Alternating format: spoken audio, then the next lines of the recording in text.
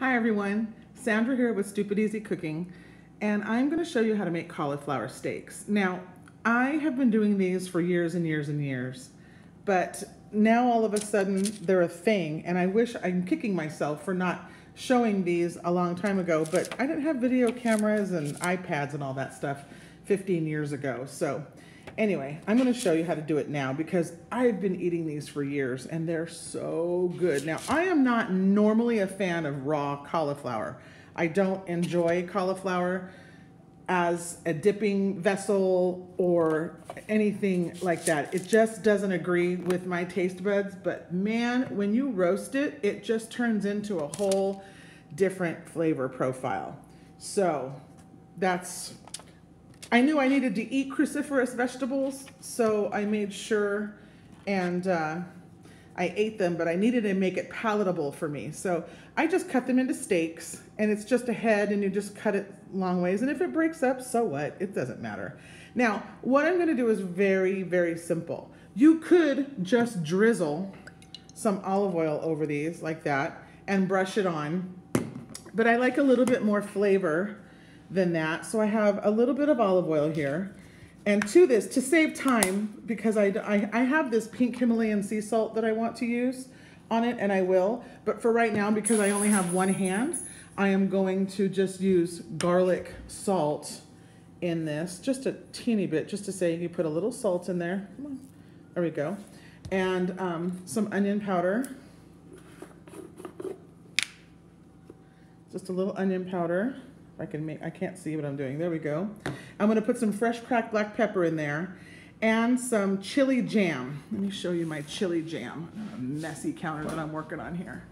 I love this stuff. It makes for a nice, sweet-ish, right there, um, Trader Joe's hot and sweet chili jam. Delicious. I'm gonna put about two teaspoons into this. I'm gonna whisk it all up with this really cool brush here. So, I can't see what I'm doing because I'm videotaping at the same time. So mix that all up. I'll put the I'll put that jam in there and some some more salt and some pepper and I'm just going to this is really hard. Brush it onto the steaks. I'll turn them around. Do another crinkle of fresh cracked black pepper right there onto these and I'm gonna put them in the oven at 400 degrees until they get as done as I like them. And I like them to be a little crisp tender. I don't want them to completely melt away. And that's it. I put them into a locking plastic container in my refrigerator. And when I want a side dish for myself at lunch, or I want to feel like I need to eat with a knife and a fork to feel like I'm eating a steak when I haven't made one, doesn't taste like steak. Don't get me wrong. I'm not dumb. I understand that it doesn't taste like steak, but they're really delicious. And it's good to include a little bit more cruciferous vegetables in your diet and foods that have color. And in this case, either the absence of color or all color.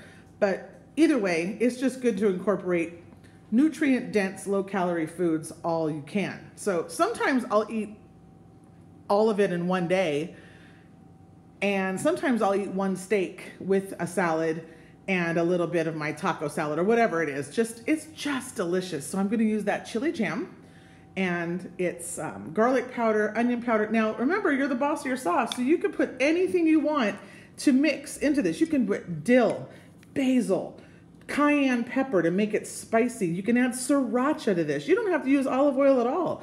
You can use canola oil um, or sunflower oil, or peanut oil, or coconut oil, or um, don't use any oil at all and just brush it with, I don't know what you would brush it with. You guys give me some suggestions, but you can just put them in there just like that too. Um, I'm probably going to put some halved Roma tomatoes with this to roast those too because they're they get so sweet and delicious when you do that. You can do this with zucchini. You can do this with eggplant, which I have two right there, which I'm going to do the same thing with. That is my carrot ginger dressing that I just made for my lunch today with the lettuce is gonna go in there. That's that, uh, that dressing, that Japanese style dressing you get at sushi restaurants that's orange on your salad.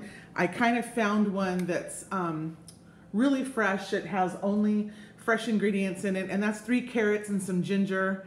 Um, I'll have to do another video on that recipe because it is divine. It is so good. It's sweet and tangy. And yes, I used a little bit of that chili jam in there. So roasted cauliflower steaks, easy peasy. Any vegetable that you like that'll really kind of hold together. Uh, if you do do zucchini, it gets really watery, but that's okay. I mean, they're still delicious. And uh, try this with broccoli too. Really good with broccoli.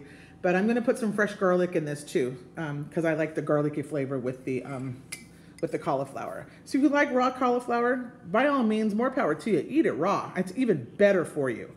But I really enjoy this roasted because it just feels like you're eating a substantial meal when you could put a knife and a fork to it and eat it like you're eating a steak. Anyway, that's it for me. Have a great day. I will talk with you soon. Remember to subscribe and like and uh, let me know what you think. Have a great one. Tchau!